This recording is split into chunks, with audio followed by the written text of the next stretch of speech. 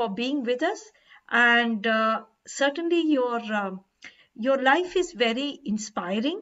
You are really the the archetypal entrepreneur, and your passion showed even during our initial uh, meetings. And so, the floor is yours. I'm stopping to share. Well, I'm gonna start my um, my story about desalination uh, first with a personal story. Um, and I'm going to ask you, have you ever been to the country of Madagascar? Uh, no. I don't, probably I don't see many hands. No. Uh, have you no. ever seen the animated movie Madagascar? Yes. Exactly. Yes. That's, that's Love a very, it. very well-known movie, but unfortunately, um, this this uh, video doesn't really resemble the truth. Madagascar is actually one of the 10 uh, least developed countries in the world. And I went there a long time ago, it was almost 10 years ago, on a surf trip alone uh, to the capital of Antananarivo. And I went to the coastal Tuliar on the southwest coast. And on my way there, I came across the boys that you see on this, on this picture. And I asked the driver to stop and uh, I talked to them. And they explained to me that with these self crafted vehicles, they spent every day two to three hours to collect water for their families and for their households. And I tested and I tasted this water, and I, I couldn't help but notice that this water was actually salt, brackish water. It was unfit for, for consumption. Um, but for these and these boys, this source of water was the only way to live their lives. It meant they couldn't go to school. It meant their life expectancy is below 45. And this really, this experience really had a big impact on me. And a couple of hours later, after saying goodbye to these boys, I found myself in this abundant sea under this abundant sun. And that's when I realized that these natural resources should become part of the solution for water scarcity.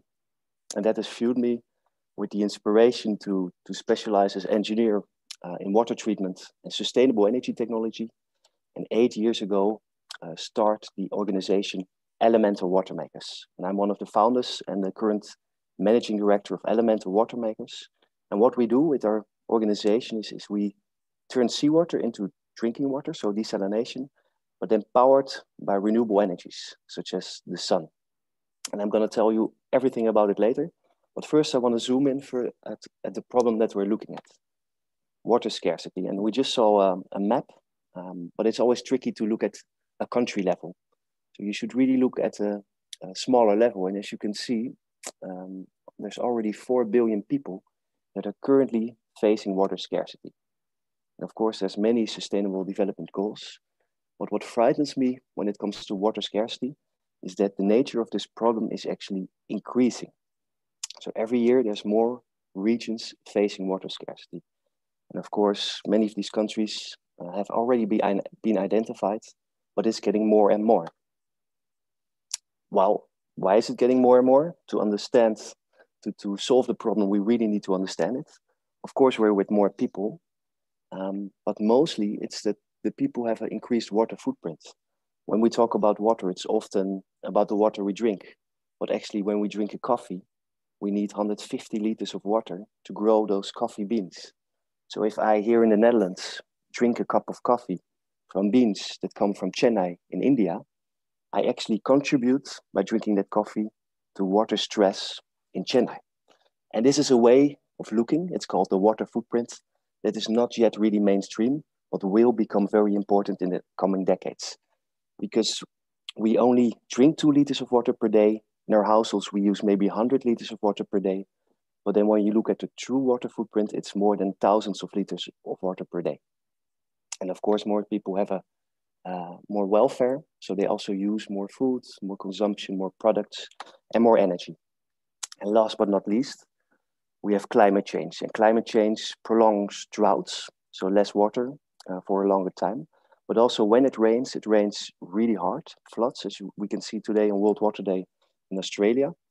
Um, and this leaves the earth unable to collect the water. So, all this precious resource then goes through the rivers back to the ocean.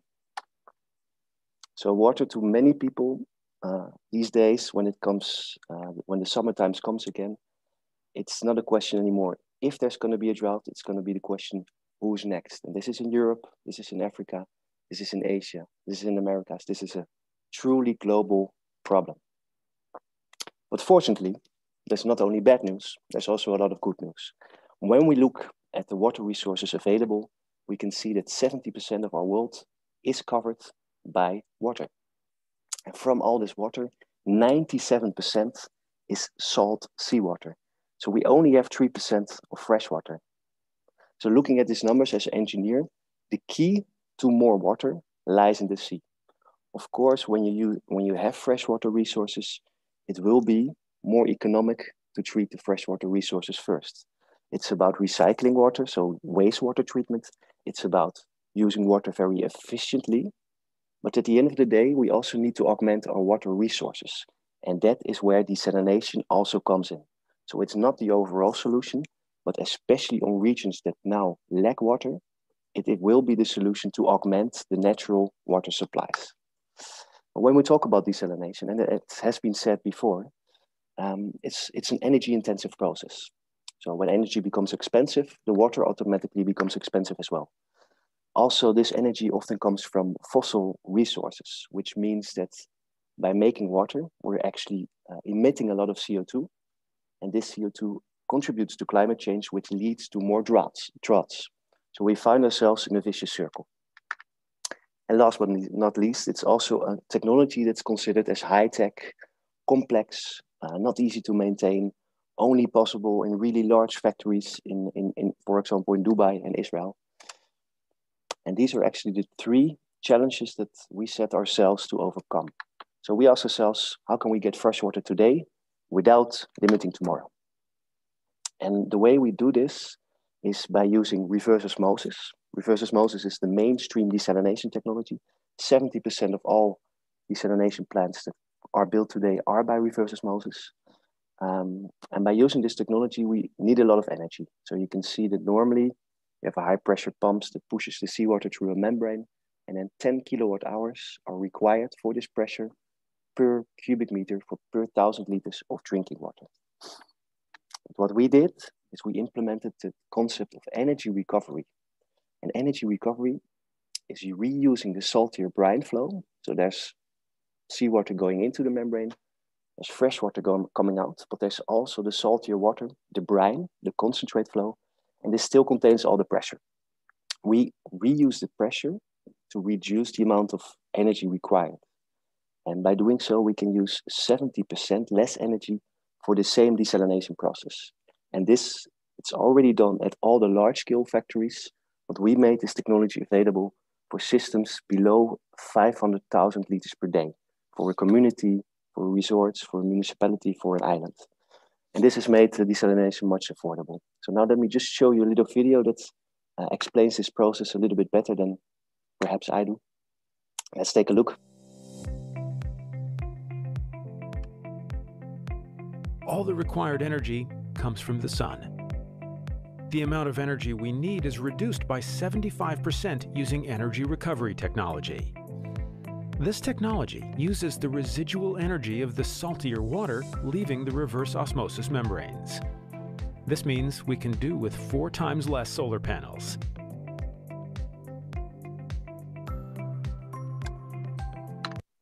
Okay, so it's existing technology made suitable for smaller scale plants. Um, and of such, we need much less solar panels, we need much less energy, and this brings the cost of the desalinated water down. So because of this innovation, uh, it is possible to save 70% on water expenses if you compare it with trucking water. It has become sustainable by the use of solar energy, off-grid, independent.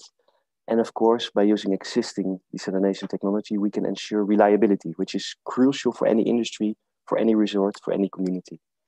Um, but also what is very important, because many of the projects we do are remote. And when I talk about remote, it means 20 hours to the nearest city. It has to be easy to maintain. Uh, so people with, let's say, a lower education should be able to maintain it themselves through automation, uh, through remote monitoring, but also by using durable components. So not low-grade steels, uh, not inexpensive valves, but really high-grade materials to make sure that even in 10 years from now, these systems keep on running. And I'm going to dive a little bit deeper into these desalination technologies that are available uh, so you get a better understanding of the possibilities of desalination. What we offer, we offer three different ways uh, to turn seawater into, into drinking water. all based on the same desalination process. Uh, it is important to understand that desalination, of course, only is a viable solution at coastal regions because you need a constant access to salt water. When you're talking about inland desalination, brackish water desalination, in my opinion, it's not a long-term solution because you're over extracting the aquifer and you're just displacing the problem. And you have to deal with your brine, which is a saltier uh, disposal, which you cannot dispose of. In the sea, you can return the slightly saltier seawater easily. And you can also know that in 10 years from now, the sea will be still available for desalination. So when we look at the first option here, it's just the water treatment part. If you already have a electricity available, for example, if you're not off grid. Um, on the picture, you see a desalination device. You can see the membranes, you can see the high pressure pumps and the integrated energy recovery. It's APP APM, axial piston pump, axial piston motor.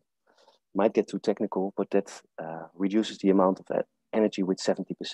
And this one, this can make 10,000 liters of drinking water on a daily basis. And the energy consumption of this one is 2.7 kilowatt hour per cubic meter. So if you look at the economics compared to uh, standard reverse osmosis, and this is just for, it's very case specific. So a system of 10, 100 or 500 cubic meters per day have a very different price point. But also it depends really on the location, if the transportation is expensive for the installation and the commissioning. So this is an example, uh, but it gives you a better insight. You can see on the light blue line, you see an efficient desalination system and on the darker blue line, you see the expenditures over time of a traditional desalination system. You can see the investment is a little bit higher because of the energy recovery, but within a year, the payback is already realized. Uh, and at the end of the day, after nine years, you're already over 50% savings. So at this small capacity, it is possible. On the right side, you see the, the water cost. You can see that it's possible to generate water for less than $2 for 1,000 liters of drinking water. And you should compare that with the price you now pay for example, a small bottle of half a liter of drinking water. And that's why the economics do, um, they do make out. You see, for example, a system in, in Belize. Uh, this is a, uh, one of the world's most private islands. You have to take a helicopter there to get there, uh, but then you can enjoy one of these systems in operation. And it makes nine cubic meters per day. So this is just one of the examples um, for places with already energy if we're now talking to places without any energy, we can provide an off-grid system. And this is the elemental water source. So it can be deployed at any coastal location that doesn't have any energy and doesn't have any water supply. Uh, it all fits in this small container. So the blue container has all the water treatment equipment inside. And the solar panels which come on top all fit in the container. So it's almost like IKEA version. It's like a plug and play system to desalinate drinking water. It can be set up in half a day because the solar panels, the water tank, the piping, it all comes inside the container and it just can be installed on top of the roof or next to it in a matter of hours. And that's what makes it so suitable for both community water supply, uh, for private properties and industries, but also for emergency response, uh, for uh, refugee camps, for temporary applications, for disaster relief. And you can see here a look inside the container. Of course, you have on the one side the water treatment equipment. We take the seawater, we take out the large particles by pre-treatment, and we desalinate the water, having only very pure water. We remineralize the water to drinking water because we take out so many particles that it's almost a bit um, empty. So we remineralize the water to increase its taste, and then we store it. And before it gets used, it gets treated one more time by UV and activated carbon to uh, avoid any contamination that might have occurred during storage. So it's really uh, World Health Organization standards of drinking water. And this whole process, it's powered by the solar panels that are on top. Um, energy is stored in a small battery bank to overcome uh, passing clouds or fluctuations. And this energy is used to set up the whole system. But also when it's in standby, it automatically flushes the membranes and it keeps its, itself alive so that the membranes only have to re be replaced after five to seven years. This container can make water, but it can also provide additional power, for example, for charging phones or, or lights when, uh, for reading or computers or laptops, Wi-Fi. There can be a smart water tap for, for payment included, and of course, extra water storage uh, to help in the distribution. And these kind of units can come in different sizes. So you can do it really small, 5,000 liters per day, but you can also scale it up to 40,000 liters per day and larger, of course. And the energy consumption stays around the 2.7 kilowatt hour per cubic meter. When we look at uh, the economics of this system, so if we, for example, compare a community that are now forced to uh, transport water with a truck, and then they often pay five, six dollars per cubic meter. Such off-grid system can also in the order of two dollars per cubic meter per day for a smaller system. And this really goes down to one dollar per cubic meter per day for the larger scale systems. And this is really the price point where also the huge desalination facilities in Dubai and Israel are at. So that has made it possible to have the same kind of price for the water, uh, but really on a decentralized, small scale off-grid application. And that's, that's really exciting. Uh, here you, for example, see a, a system in the Philippines. Uh, this is a water kiosk. So there's seven people working there, selling and distributing and maintaining the system. And of course, there's also not only increases the health, but also economic development and, and jobs. So this, this model, the water kiosk model, uh, it's a very interesting model, for example, for NGOs and for investors who are looking to make impact. Because by providing a loan for a, a person to operate such a water kiosk, they can have uh, not only clean water, but also job generation, security, increased health, uh, education. Uh, and of course, there's a financial side to it as well, because there's, there's a huge return on investment. We think this model can also be very interesting for, uh, yeah, for remote communities and for impact investors. And of course, afterwards, I'll be available to answer any questions on, on anything that I showed. The last system that we have, it uses not batteries, but gravity. So then the battery is replaced by a potential energy buffer. So by using the, let's say the potential energy from gravity, we can use solar energy to pump seawater up during the day. And this provides the pressure required for the desalination process. So with solar energy, with this system, we can make water 24 seven and then we don't need any batteries. But we do need a lot of elevation. So what we did is we uh, made another energy recovery device, and that has 80% less elevation required. So if there's any system close to a hill of 90 meters, we can also do this totally off grid and no energy losses. Um, but we need to sort of start winding up. Uh, okay. Sid. I'll, I'll, yeah, I'll keep continuing. So this is, in, for example, the BVI. Uh, systems have, have overcome hurricanes, and these are uh, economically very interesting. Just to give you a glimpse, these are uh, the countries where we have projects. So they are very comparable to the map where there's problems. But even at small scales, at islands, at coastal regions, even in a country that has a lot of water, you can see these kind of systems uh, increasing in demands. This is for private properties, for communities, for resorts. Um, and this is this is quite interesting actually. But we we reduce the amount of salt in the brine, we don't use any chemicals, and we make sure it's easy to operate. So this is this makes it very uh, unique, solution. And when we say waterfall, we really mean waterfall. Uh, I think to conclude, it's it's important to see we do a lot of projects for resorts and properties, but also for communities. I actually set up a foundation for the people in Madagascar that I met. It's called the Elemental Water Foundation. Um, and two years ago, uh, we got invited by the we were talking about Dubai, this Mohammed bin Rashid. He gave us the first prize out of 139 organizations. That was, of course, great. But what is mostly important is I was able to finance a system for the people in Madagascar through our foundation. And this is a picture two years ago where we opened the system for them. And actually, this year we, we're building the second project, and next year the third. So, um, yeah, that's of course great. COVID is, is restricting us, but this is why we made this uh, elemental water source, this containerized solution. I did bring a video, but I'm not going to show it because of time constraints. So what I want to do is I want to thank you for listening in, and uh, please let me know if you have any questions. And I hope you have a wonderful World Water Day.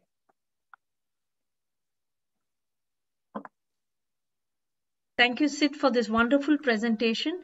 Uh, we have got two questions from the audience, but if I may, I'm just wanting to use my power to as a uh, as a moderator to ask you one two questions that have come from other experiences. First of all, uh, a citizen's question: What is the what is the smallest size that you can make? That is, what is the minimum size of the community required to have your kiosk system? in terms Small, of population? Yeah, now the smallest system that we can provide uh, makes around 3,000 liters per day. So when you look uh, at the uh. size of the community and you target only drinking water, we would assume two liters per person per day. Mm. So this means a community of around 1,500 people. Okay, so it can be very small. The, the second thing I want to ask is that in uh, many places where we have tried out actually like solar in the, the past 20 years, even these high tech Bill Gates toilets and all, uh, basically there is vandalism. That is, it's so cute that people one night you will find uh, that all the parts are missing. You see, this is a very common problem. I was wondering how they dealt with it in Madagascar, or is it that they haven't had any problems of vandalism? Not in the resorts, but in the uh, when you put it in uh, challenge communities. No, I, understand your question. I think this is something we always ask. So when we do a community project, the security, of course, is very important. And what we do is we try to create a license to operate.